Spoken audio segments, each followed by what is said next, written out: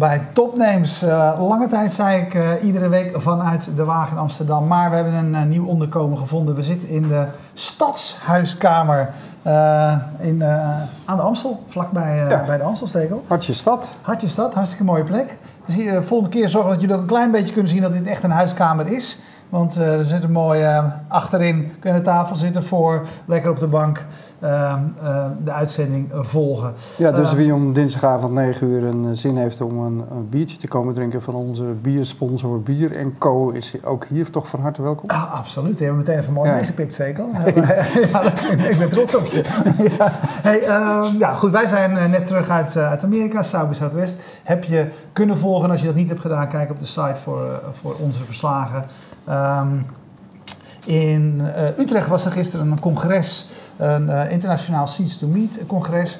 Uh, twee van de aanwezigen daar zijn vandaag bij ons te gast om te vertellen hoe zo'n concept elders, elders gaat. hi, who are you? I'm Guy, Guilherme. Glad to be here with you guys. Yeah, yeah. And you're here for the Seats to Meet yes, to, Congress? To the Global Seats to Meet conferences. Yeah, that's so, right. So, so what, what do you do with Seats to Meet? Well, actually, in, in São Paulo, in Brazil, where I'm from, we are now building a, a collaborative community of co-working owners uh, to learn uh, how to develop this sector in Brazil, how to make good, and collaborative business in yeah. Brazil. So to you, if, if you, if you uh, explain to people what Seats to Meet is, what do you say then? Well, I could I could respond in two different ways. Uh, talking about technology, about a platform, I could say that's uh, a really good platform to to match talents to facilitate that people uh, and talents meet each other. Uh, and also uh, to help uh, co-working places to manage to manage their transaction on daily basis. So that's uh, on the technolo- technology perspective. Uh, if you look Seats to Meet not just like a, a software or a, an, an, app, it's, a, it's a community, it's a global community of people that gives a lot of value uh, to the, the culture behind the co-working business, which is really related with uh, a sharing, caring, and gifting economy. Yeah. Um, I can imagine that, uh, or every country is different, people are different, culture is different. Um, yesterday you were with all your international uh, uh, yeah. colleagues. Uh, is, is there a difference between the way um, a co-working works in different countries? Yes, I would say that there's a lot of difference, mainly on the beginning of, of, of the structuring of the market. Uh, but I would say that on a medium long term, it, it becomes equal. Uh, I would say that uh, on the beginning, uh, there is uh, the process of building trust and, and talking about a shared, shared vision I think the process to build trust and to build uh, a shared vision is very different. Uh, how people connect, how they build trust, how they talk about building a, a common future. So I would say that the process uh, to build trust is very different. Mm-hmm. Uh, but by by when I believe that when this kind of uh, business or sector uh, it's more mature, it's it's becoming equal because people maybe uh, bring back uh, the trust to connect to each other, to connect with, with, with, yourself. And on that phase, I think it's, it's more similar. Countries for, get for, more for some of our viewers, it might sound a little bit vague, and in, okay. in, in, in uh, you know uh, words people maybe don't understand exactly. What, what in your opinion, is that it's the, the main difference between like uh, buildings like spaces where you can rent, uh, you know, a desk okay. in an office, okay. or a co-working environment. You are. yeah, I, I would say that like uh, you have like levels of sharing.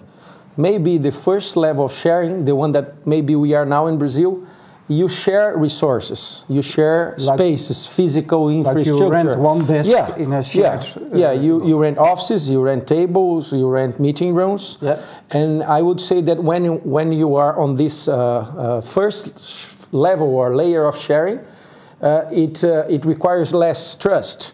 You're sharing a good, a resource. Mm-hmm. Uh, it's more a transaction. Yeah, yeah, it's more a transaction. But I yeah. would say that in Brazil we are on that stage now We are breaking, breaking through an old economy where nobody would share space.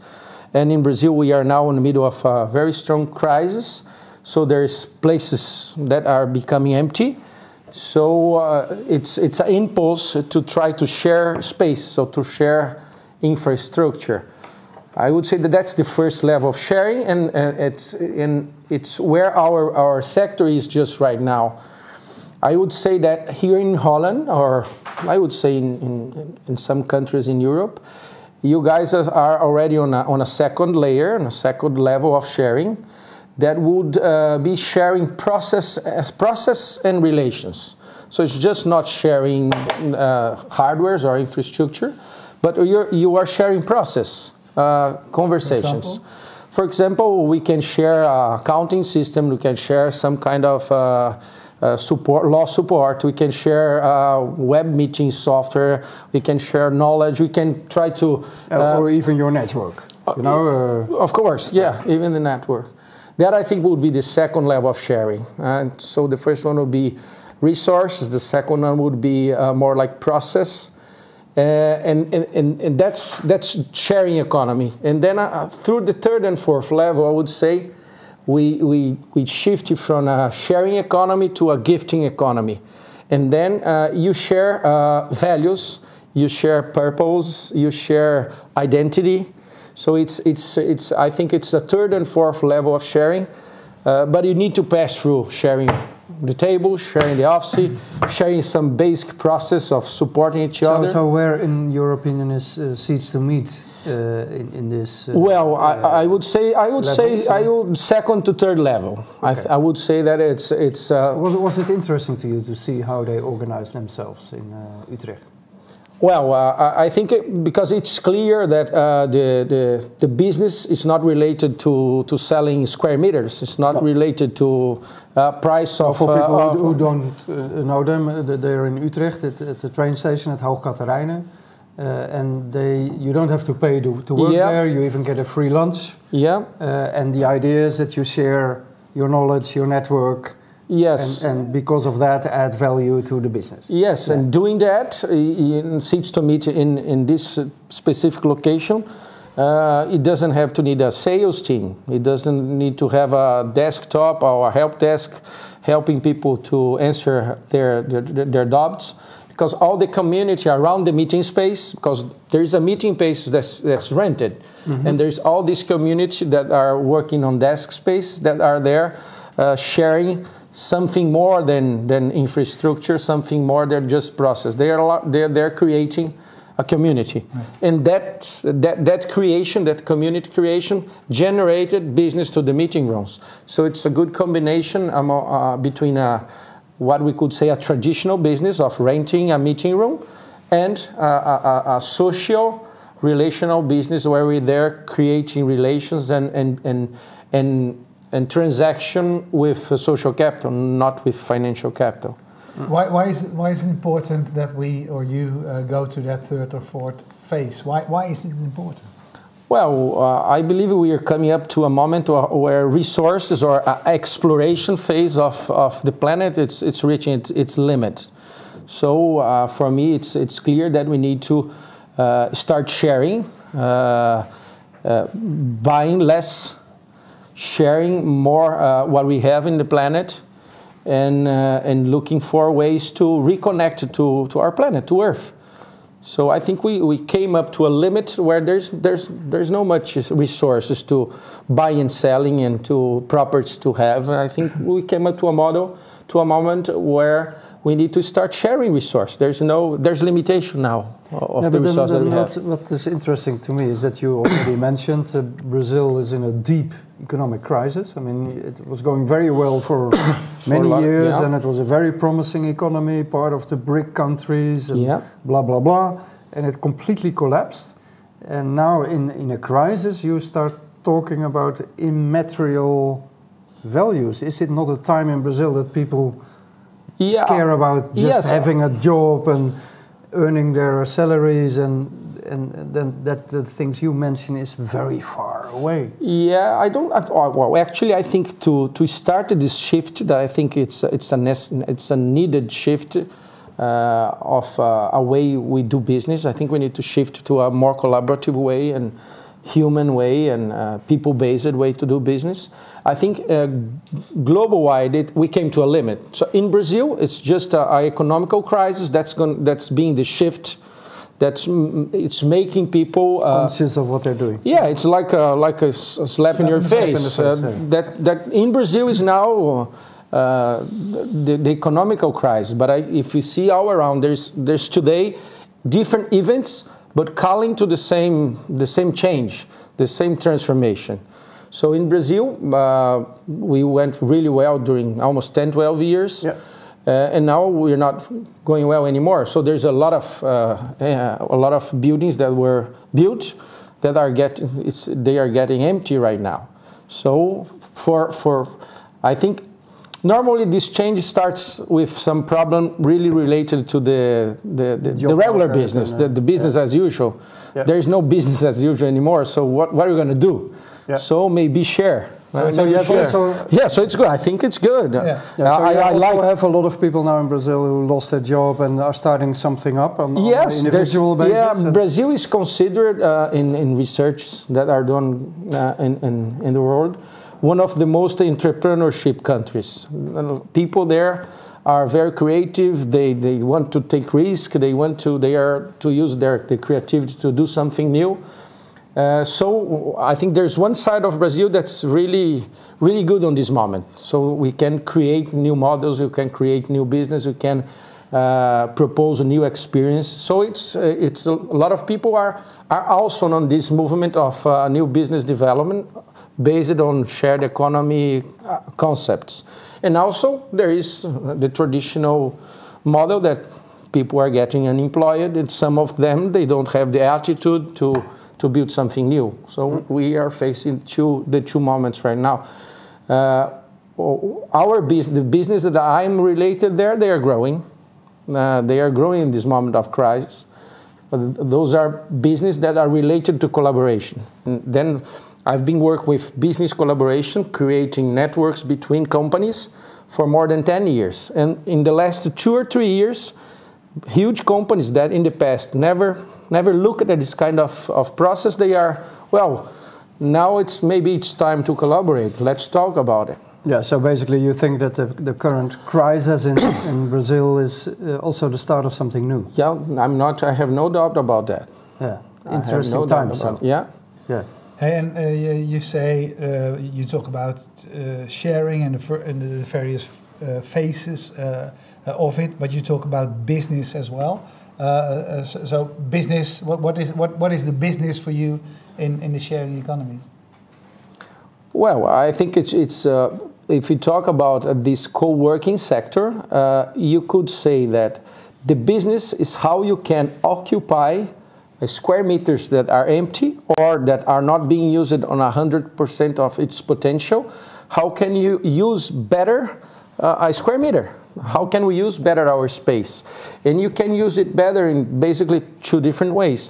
One may be traditional way, that's uh, using it more, uh, uh, renting more more desks or having more people paying for an hour of used space or increasing your way of uh, making money on a monthly base. That would be the traditional way to try to use your exit better. And the other way, it's how you can use spaces to connect to talents. So once you have people matching their talents and uh, opening up itself to talk to other people, this, this what, what Meet calls as a serendipity machine, this, this, these uh, meetings, they can generate ideas and they can generate new organizations to transform this idea into a new business. Yeah. Or a sustainable business. So I believe there's, uh, if you if you look at a square meter, you can use it better, and you can promote that talents get together physically in a space. So I would say that that's it's what about a co-working uh, business. Okay, then then today uh, or yes, and yesterday there was this conference about co-working organized by by Seats to Meet. Uh, uh, of course, in, in the Netherlands, uh, the economy is in, in a different stage compared to Brazil. What did you learn Did you hear something new? Well, I could I could give you a very strong example. Yesterday, I went to visit one huge building here in, in Amsterdam. Yeah. That was uh, which one? Uh, I, I, it is supposed to be a building where ABN AMRO Bank was. Oh yeah, the new and, and place then, where uh, uh, Google with the next web is going to start. Yeah, yeah and then yeah. then was I, I, Scotland Royal Bank, and yeah. but we we visit this place where it's going to be built a new co-working place. Yeah uh, they are going to also use Seats to Meet as, as the connecting and talent matching platform. But I, I went there on this building, and the, this building is empty for four years. Uh, they, they keep the air conditioning on every day because it's cheaper to keep the air conditioning on every day than turn it off because maybe they, they, they need to re, restart it again and it's very expensive. So uh, I would say that to see a building like that, four years empty, and how, how it can be uh, reorganized on a different way of doing business, it's not in Brazil, it's just right here. It was four years empty.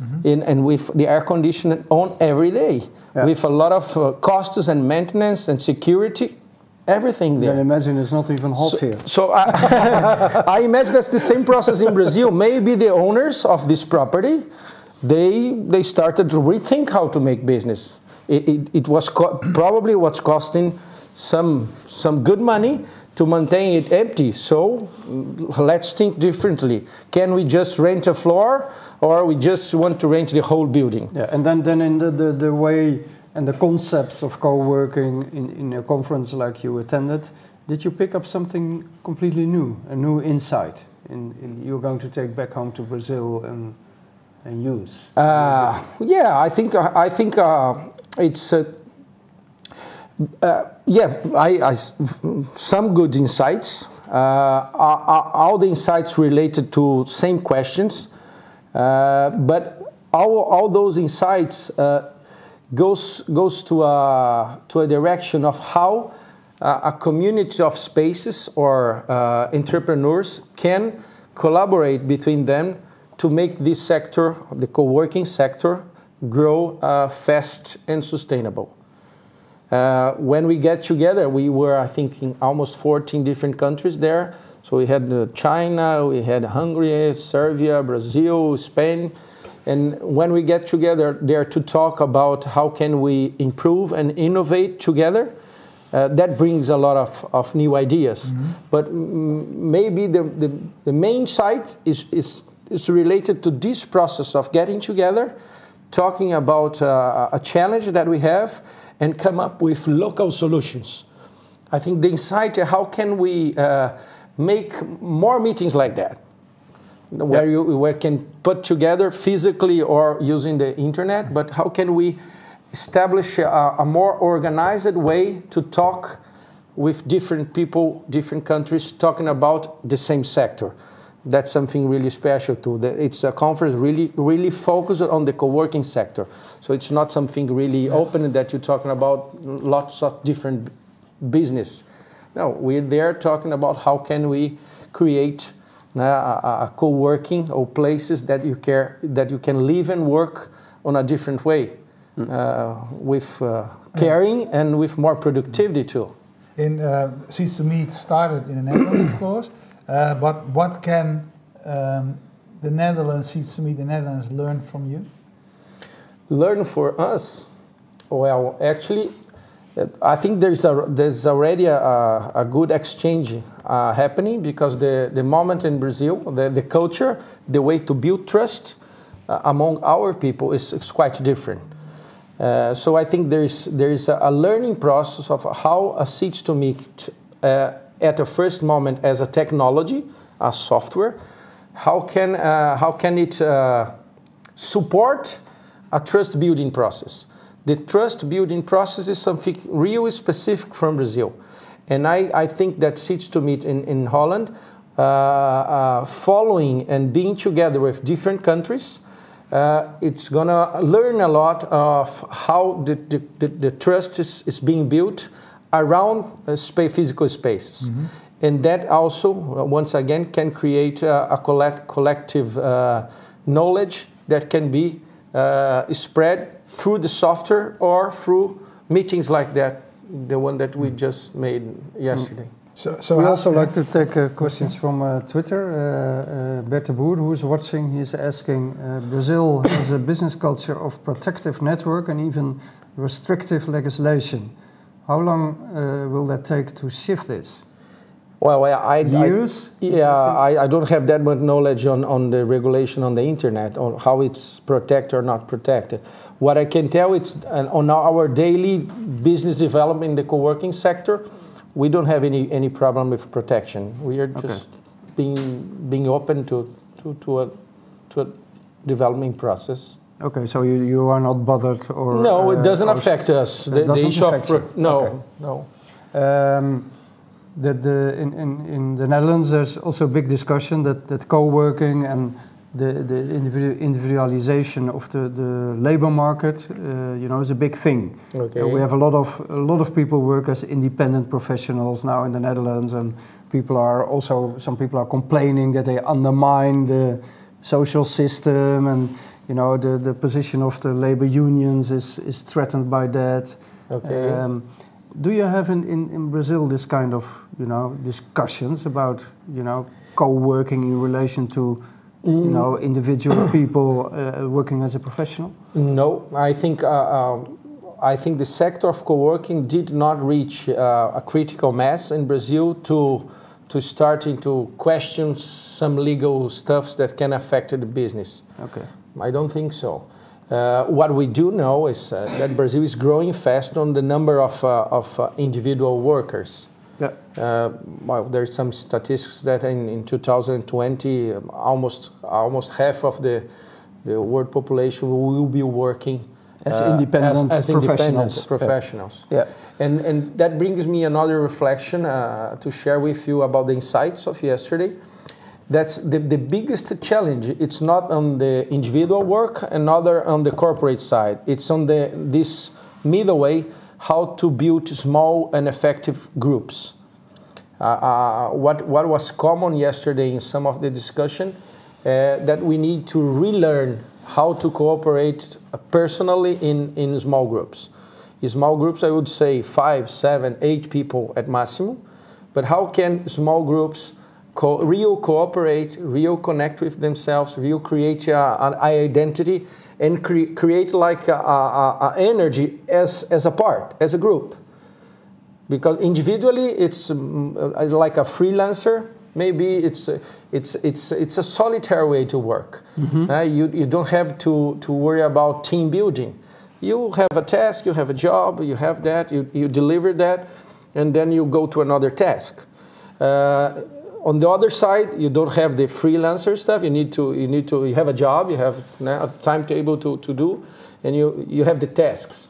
In between, uh, it's it's where I think uh, the co-working process can can help to leverage this, this learning of uh, being uh, together in small groups and operating on a very productive way. I think that's in Brazil, in Holland, in China, everywhere. I think there is a knowledge that needs to be uh, learned again.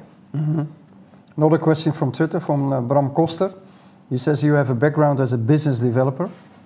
Yes, uh, he, I do. He researched you. Uh, I think. Yes, I do. Uh, what is still the, still doing? What is the business behind that soft side of co-working?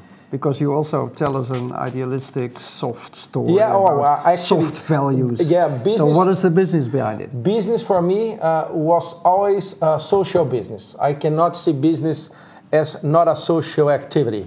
So for me, uh, when you talk about profit or non-profit organization, I don't believe there is non-profit organization. Is this exists like a social profit organization? So for me, when you look at business as a social profit organization, one of the dimensions is the economical dimension, but there is others dimensions like uh, what we call the philosophical dimension of a business. Yeah, so you say you have to earn money, otherwise you can't exist, but still. yeah, of course. I, I always say that the money or the, the money is it, it, it, cannot be the end of that, but it's really needed for to support a, a, a business development process. Uh, for example, now we need air to, to breathe, right? But I do not live to breathe. I live to other things Huh? Maybe drink a beer. That's a good thing that I can live for. but, but not my objective is drink a good beer and not not breathe the air. But I need the oxygen, right? Otherwise, yeah. there's no beer in the future or in or in some minutes, right? Yeah, yeah, yeah. So um, money is needed profit is needed, but on a social way. So that's what co-working is, is about too. How can you develop the social, social dimension, the purpose dimension inside of a business? Okay, now you've seen the examples in the Netherlands, uh, Seats to Meet. What can we learn from how you do things in Brazil? Well, actually, I think in Brazil we have a, a great experience on putting small and medium companies to work together. Okay. So we, have been doing there for quite a few years. And in Brazil, we have some, some variables that uh, helps us on this process. We have a very strong internal market with more than 200 million people. Uh, our, our retailers, uh, they are very uh, distributed in country. So we don't have domination of big retailers. Mm -hmm. So we have a lot of small and family-owned and operated stores that sells foods, uh, construction material, uh, medicines. And, and with a big market, not concentrated and not organized, there is space to innovate on distribution networks. So in Brazil, we have, we have space to innovate in different business models. So that helps us also to put small and medium companies or together groups in, in, in a process of learning together. And since they don't have uh, that huge pressure to do that in one year. They can they can have some more time to learn and, and do. I think we had developed in Brazil a, an expertise of building these communities of small and medium organizations, and that's that's something that I think uh, Holland could learn from us. Okay, thank you. Thank you very much. Yeah, it's a pleasure. Uh, jullie bedankt voor het kijken. Uh, kijk je nu, dan uh, blijf dan nog eventjes, want zo direct praten we verder, praten we internationaal. Verder, Litouwen is dan het, de, de, plek van het, van het onderwerp. Um, even de bedankjes aan het slot. Natuurlijk Streamzilla uit Groningen, die ervoor zorgde dat de stream tot je kwam. ik moet even de wagen nog uitlaten, maar ik kan, ik kan ondertussen hier de stadshuiskamer waar we verblijven. En wil even bijnemen. Bedankt voor ons nieuwe uh, onderkomen. Uh, eh, 2ML die zorgt voor de hosting van uh, de website. en even kijken. Natuurlijk de biersponsor Bierenco. Ik begin een beetje in te kakken, Stekel. Ja, je hebt last van je jetlag. Ja, ik heb last van ja, jetlag. Hij is, net, hij is net terug uit Austin. Als je uh, on demand kijkt over een paar maanden. wij, wij, zijn allebei net terug uit Austin. Dus een beetje gejetlag.